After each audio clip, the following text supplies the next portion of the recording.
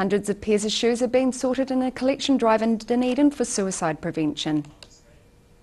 Yes We Care is taking 579 shoes, each representing a Kiwi lost to suicide, on a trip starting in Bluff and Cape Reinga on August the 25th and finishing at Parliament on the 10th of September for International Suicide Prevention Day.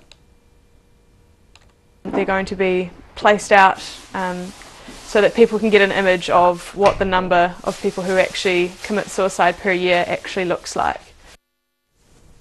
It is the first year the Public Service Association has assisted with the campaign. Last year, Life Matters Suicide Prevention Trust assisted with the cause by collecting candles and jars to represent lives lost to suicide. The shoes hit the road this Friday after the roadshow. The shoes will be donated to a suicide prevention charity.